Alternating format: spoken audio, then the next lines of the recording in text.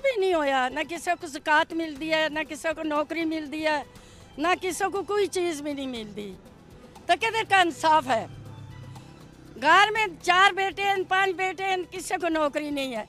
मजदूरी करता है, शाम को बच्चे भूखे होते हैं। कोई देता है या नहीं देता तो वो बच्चे पिटते हैं, रोते हैं। मैं देश को भरोसा दिलाना चाहता हूँ।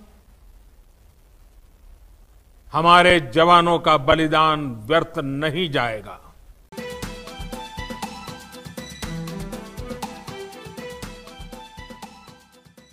हुकूमत के कोई इकदाम भी नहीं है। जहाँ अल्लाह ताला ने जो चश्मे पैदा किए थे, वो भी बंद किए हुए हैं। हुकूमत ने हमारा दरिया छीन लिया है। दो दरियाओं की सरजमीन है मुजफ्फराबाद।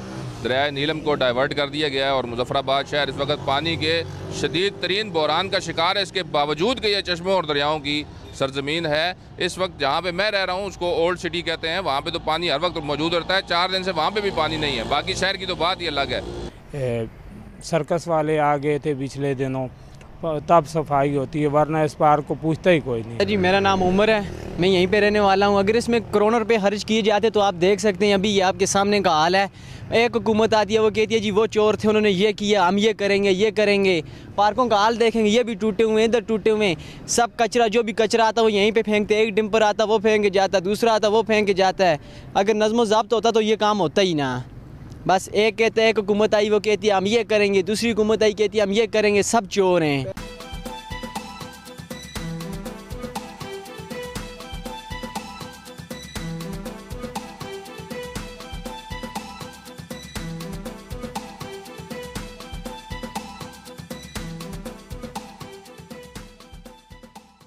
कुछ ऐसे हमने इकदाम किए हुए हैं कि जिससे हमें शर्मिंदगी हो रही है। ये चूँकि आज़ादी का बेस कैंप है और इस बेस कैंप में हमने इस कदर अपनी रिहाइशें और जिस तरह के ये सामने हमें नज़र आ रहा है कि भाई वज़ी अजम हाउस इतने करोड़ों की लागत से बना दिया, लेकिन इस शहर में एक रिसर्च लेबार्ट्री नहीं है, इस शहर में एक टेक्निकल इंस्टीट्यूट नहीं है कि गवर्नमेंट के उस पर चलने वाला।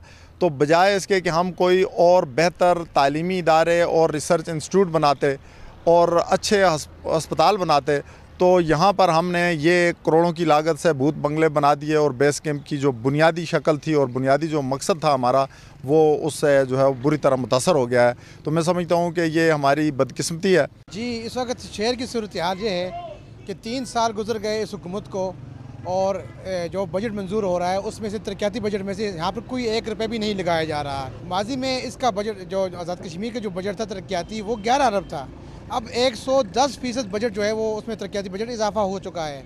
इस वक्त साढ़े चौबीस अरब जो है वो बजट मिल रहा है। और उसके बावजूद दारकूमत की जो सूरत हाल है वो आपके सामने है। जिस जिस सड़क पर हम खड़े हैं, ये पीपल्स पार्टी के दौर में ये तमीर की गई थी। इसी तरह यहाँ पर कोई पार्क तमीर नहीं हुआ, कोई स्कूल नया तमीर नहीं हुआ, अस्पतालों की सूरत हाल आपके सामने है, सीवरेज उबल रही है, यहाँ पर बल्दिया जो है वो नाकाम है। बल्दिया यही कहता है कि हमारे पास पैसे नहीं हैं, सालाना करोड़ों रुपए जो है उसकी आमदन है। और इसी तरह तरक्याती इदारा और बल्दिया की आपस में जो है वो एक चपकश है एक जंग है अख्तियार की जंग है और जो सियासी जो एडमिनिस्ट्रेशन जो एडमिनिस्ट्रेटर तैनात किए हैं उनकी दिलचस्पी नहीं है।